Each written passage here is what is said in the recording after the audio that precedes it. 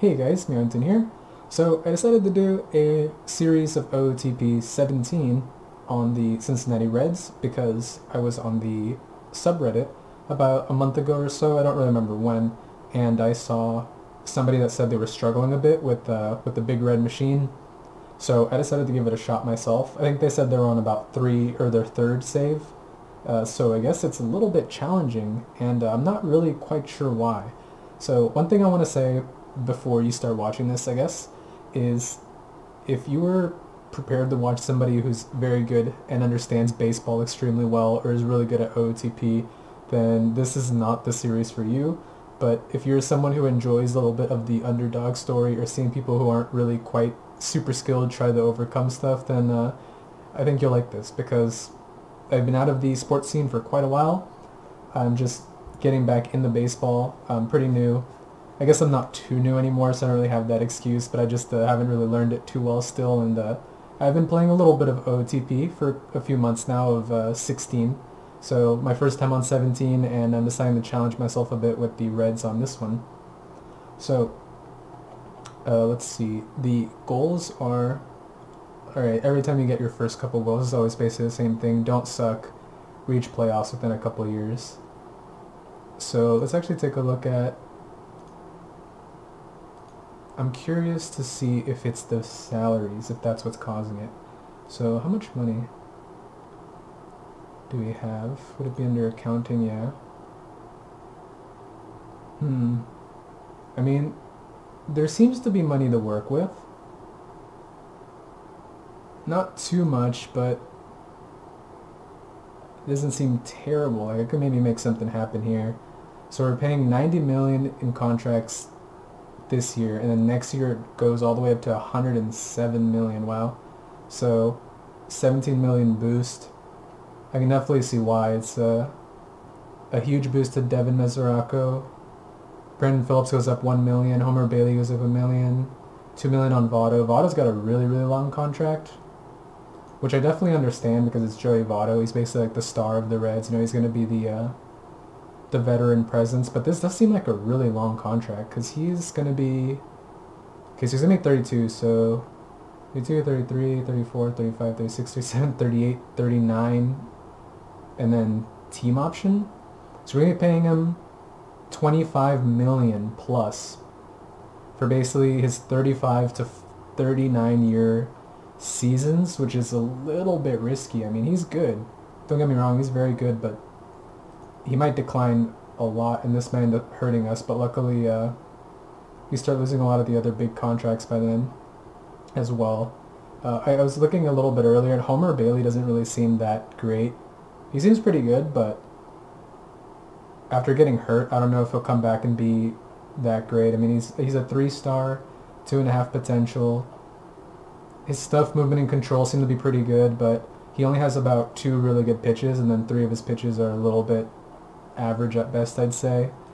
Um, Brandon Phillips, who was just, I don't know how he did so well in 2015. I mean, he had a really good year, but, like, I mean, I guess he's had, like, consistently good years, but his stats definitely don't speak to, or his ratings don't speak to that, because he doesn't have, I mean, I guess he has good contact and avoid Ks, is true. Doesn't have very good eye and discipline, though, so... He almost, yeah, he doesn't seem to walk too much, except in 2011 interesting.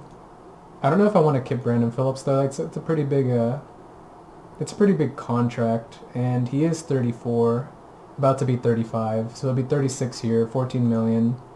He's probably gonna start seeing some decline as well himself. So yeah, I'm probably gonna be looking to ditch Brandon Phillips. One thing I was looking at was Devin Mesoraco potentially getting rid of him. He seems like he's gonna get a huge bump in contract here, up to 13 mil which potentially getting rid of that could uh, could really help out because that means in 2018 we won't have Phillips, won't have to worry about Mesoraco's gigantic contract. Maybe I'll be able to ditch Bailey by then as well, which will really free us up to setting us up for 2018 to be like a big uh, rebuilding year. And if not, then maybe we'll work for a little bit later to 2019, 2020. Maybe get some rookies in the draft and uh, you know work them up and then get the team ready around one of these years around here. But Mesoraco seems to be pretty average for what uh for what he's get for what he's being paid. But let me see, when, when does contract start? Total years when signed for, so 2016, so 2015 he signed. Yeah, that would make sense because he had this crazy breakout year here where he posted a 3.9 WAR. So that's why he nailed that contract for a couple more years and then he just really, uh, I don't know if he got hurt or what, or if he just struggled and he, yeah, I don't know what's going on here. That was really weird. But I might like to get rid of Devin Mesoraco as well. Uh, let's take a look at the lineups too. I want to see what we're looking at. So that's interesting. So Mesoraco is getting that huge contract, but Barnhart seems to be the who they had as the starter. Yeah, so 2015 they played him as a starter, and then he played as the backup. It seems it's really strange. Why do you pay him so much just to put him as your backup? So yeah, I mean if if I can just get rid of Mesoraco now, I mean I'd be more willing to use Barnhart as our current catcher. Even though he's not great at the bat, he's good catching rating, good arm, good ability compared to this. Like, I, I value good defense on a catcher more than I really do offense, honestly. And if he can give us a full year of 250, 324, I'd be more than happy with that, to be honest. I don't really expect too much out of my catcher. Uh, Votto, already know Votto. Ivan DeJesus, who seems to have pretty good ratings. Second, third, short. He can play left field too, so he's pretty flexible. Um, he's played a lot of AAA. Did he really just get called up? Because his first year wasn't that great. He didn't really play the full year either. Yeah, he seemed to always be a backup for the Dodgers, then he got traded. Eugenio Suarez, who again doesn't seem that great in terms of ratings. Um, another pretty young guy.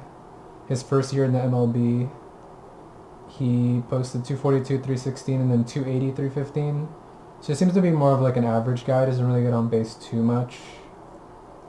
That's alright. Uh, Zach Cozart, who, wow, he is great defensively. Really good shortstop.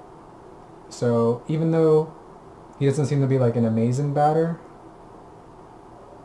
um, let's look at full year. So 240, 280, yeah, he's uh, he definitely struggles to get on base really, really hard. His averages are just barely at like 250. This year 220, wow, he had an awful 2014. Hmm. All right, so he's probably going to be like an end of the of the lineup kind of guy. He has some stealing and speed, so who knows what, what about him. But he's really good defensively, so doesn't hurt to have good defense out there. Adam Duvall, this really doesn't do him justice. He's so much better in person. I guess maybe in OTP 18 he'll end up going up quite a bit because he's having a good year. But in this game, wow, he is just, uh, he is very poor awful avoid K's 9 discipline. His contact is like basically average at best. I mean, he has some pop to him, but that's about it. Yeah, wow. So we're going to be struggling really heavily. And then obviously Billy Hamilton, who everyone knows is a terrible batter, but he has lightning quick speed. And then Jay Bruce, who should be good. Uh, not the best 2015. Not the best 2014. I mean, he, he had solid years before then. It's just the last two that he struggled. So hopefully he can pick it up. But again, he has pop too. He's got good home run power. At least has better contact, decent discipline. Strikes out a lot though. Yeah, he's got a huge strikeout problem. Can we look at the uh, expanded batting stats? Look at the strikeout percentage. Yeah, he's near about 25%, which I guess isn't 22, which is bad, but I guess it could be worse. I mean, yeah, I guess it could be worse. Not very good, says Tyler Holt. Ooh, wow, yeah. There's a lot of work to be done. Brandon Phillip. Wait, Brandon Phillip? Oh yeah, he's not even the starter too. He's just... All these people are just eating up money without being starters. Let's take a look at the pitching. So these are some names that I definitely recognize. Iglesias and DeSclafani I do recognize. Uh, I think Hoover, Cingrani, and Diaz. Blake Wood. Isn't this the guy that's on the no. I'm thinking of the other guy. So this is definitely the star pitcher. He's very highly rated, good ratings, and he's very young. Raisel Iglesias. I think I've heard about him, like IRL being talked about as a pretty highly touted young guy. Not really sure. I haven't really been following him too much. I don't know. Didn't really post the best 2015, but he is pretty young. He's going to be turning 26 very soon. 1.64. He had a good WHIP. One eh, home runs. I guess he could have... He gave up 11 in 95 innings. I guess it's not awful. Didn't really walk too many with a good K count. I'm not really good with FIP, but let's check it out anyway. Pitching stats. No, it's under expanded to. So 366 FIP. So he had a lower FIP than his ERA at the very least. Which means I guess he was pitching better than his ERA shows. Uh, Anthony DeSclafani. Great movement and control, which is actually something I really like out of my pitchers that people will notice, will, will start to notice, is uh, I can be okay with someone not having the best stuff as long as their movement and control is good.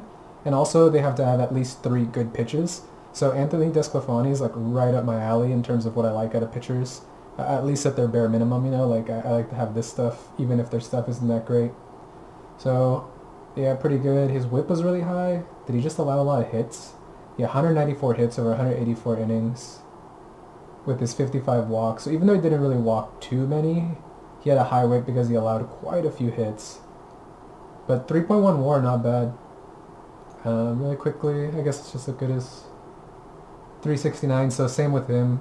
Higher FIP, or lower FIP than his, than his ERA. Brandon Finnegan, wow, this is a very interesting guy. He's only 22 and they have him up here. So he still has room to develop his control, but for now he's going to really struggle with his walks. Yeah, as you can see here, even though he's only pitched a handful of innings, 4.8, 5.0, 4.5, 8.3, just gives up a lot of walks. It seems in 2015 they gave him the most innings ever at 20, actually no, that's not. He's had more innings before. Hmm. Do I even want to have this guy called up? Like, I might want to put him one more year in AAA. Not even the year, but like half the year in AAA. See if he can, con- or fix his control metric a little bit. Maybe fix his uh, changeup, you know, make his changeup a little bit more refined. Because if he can get this up to like a 55 control, get his changeup closer to 60 then maybe, because, uh, you know, he might have good stuff and good movement, but he's going to be giving up a lot of walks, and he's not going to really be too valuable to us, especially as our number three guy. Alfredo Simon. Yeah, wow, they're no wonder they have him as a three slot. We have nobody really in our in our back half of our rotation. So let's look at some relievers. Uh, Hoover has no control. Nothing too amazing. Pedro Villarreal. Cingrani. Amazing stuff on this guy, but I mean, yeah, he's got great pitches, got decent movement, even if his control's a little bad. Oh, okay, that's not a little bad. That's a lot of bad. 6.7, 4.0, 5.0. He also allows a lot of walks. I don't know if I really want that in my bullpen. Alright, Cotham looks pretty solid. Uh, gave up a lot of home runs in 2015, but he only pitched 9 innings, so I guess you can't really give him that, give him too much flack. Wood doesn't seem too amazing. Uh, just all these guys seem to be just AAA guys or something like there's there's almost no Jumbo Diaz, huh? Well, isn't the guy who's really heavy? I remember in the like stats page, you know, who are the heaviest in the game? In 2016, Jumbo Diaz would show up as one of the biggest guys. I could have sworn he was fatter than that. But uh, he seems to be our most reliable pitcher. Very solid closer. A lot of Ks. Not the best WHIP, I guess, but not too high. I'll accept it. Gave up quite a few home runs, though. 9 and 60 innings. Not... I mean, I guess, yeah, I don't like to see that many. Maybe if he was down at like 7 or 6 or something. Yeah, 6. 4.18 ERA. Again, looking at the FIP. Although I guess FIP would be a little different. Is it different for relievers? I'm not sure. 375. 0.4 WAR. Nothing amazing. But he does seem to be really good. So maybe he'll have a great year this year, hopefully. Alright, well, that's the lineups, that's the pitching. Um, I guess we need this, or I need to look at, where is it? Um, team home screen maybe? It's somewhere, I forget where. Here we go. minor leagues. Um, let's sort by potential. Actually, one of the things I need to do first is I need to do, I need to get a uh, new scout that suits my needs. But it seems like we have pretty solid potential um, prospects here. I mean, a good amount of them, but then again, I don't know how good this scout is, so I need a different scout to reevaluate everything. A couple really young guys who won't be up for a while, but let's take a look at these guys. Third base, he seems like he's going to have pretty good potential. He needs to fix his strikeout issue, though. He's basically going to be another uh, Jay Bruce where he just strikes out a lot, but he has good home run power. I mean, he's doing. He did well in Double A. He did well in A plus. Yeah. Okay. Cody Reed. Oh, here's where we need a pitcher. Oh wow, it looks like he's gonna have amazing control, and his stuff and movement's definitely gonna be very uh, respectable. So we might pull him up this year, actually, depending on how he can improve his movement, stuff, and control. Doesn't really even need to bring it up that much. Hopefully, we can bring him up around June, July. So definitely gonna keep my eyes on this Cody Reed guy. Um, Rookie Davis, another guy who seems like we could potentially bring up too. Uh, who's the other guy? So it looks like we have pitchers that we could potentially work around. He needs to work on his control quite a bit. I'm not liking what I'm seeing with that control, although he hasn't really walked too many in his previous, but that's low ball, you know. Blandino's 23 in double A. I mean, he did okay, but I don't see if he should be called up. He still needs to work a little bit on some of his metrics too. I can see why. Alright, so they do have some prospects to work with. So it's just like a, a, rebuild, basically. I just have to try and be smart with my trades, try and be smart with my contracts, and see if I can keep us not going broke and not having horrible uh, development on these guys. So I'm going to go off screen and I guess I'll keep this to a less than 20 minute episode and I'm going to do all the stuff that I want to do for personnel. I'm probably going to fire some of these guys and uh, bring in other people who I like. Uh, like if I see a pros uh, a certain level that has you know a lot of good hitting prospects, you know I'll make sure to that they have the proper pitching and hitting coach, you know, for all that, if, or a hitting coach, and if they're you know good pitchers, then I'll make sure to give them a proper pitching coach and I'm definitely going to get a new scouting director because this guy's good, good, good, excellent, which isn't that bad, but I want to see if I can get someone that's excellent all across the board. Maybe some outstandings here or something. But he does favor tools, which is good because I favor tools quite a bit. So that's what I'm going to be looking for. And uh, yeah, next time I, I make an episode, I'll probably have already simmed. I'll I might do like a first little mini clip where I show everything that I'm going to do before I sim and then start the sim and show that. So uh, yeah, you're probably going to see quite a bit different. This is just me looking through everything. You can see my thoughts, see how much I understand about the game. So as you can see, I'm very new, not new, but I just don't really have the best knowledge. So you, you can definitely see that I, I'm not the best at this. So hopefully you enjoyed and it wasn't too boring, and I'll see you next time.